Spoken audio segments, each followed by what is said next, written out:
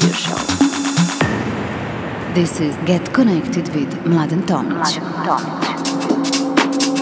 Hi guys, welcome to the new episode of Get Connected with me, Mladen Tomic. I just came back home from Amsterdam and had a great time at uh, this year edition of Amsterdam Dance event.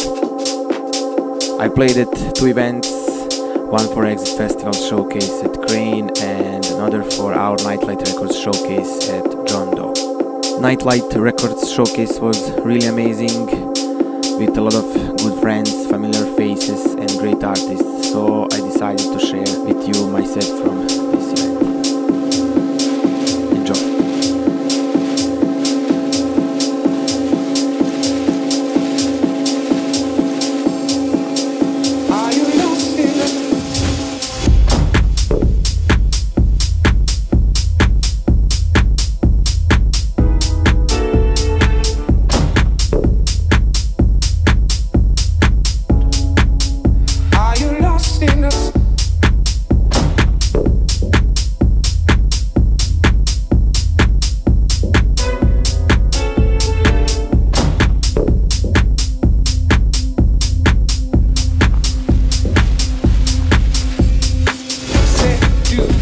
sounds like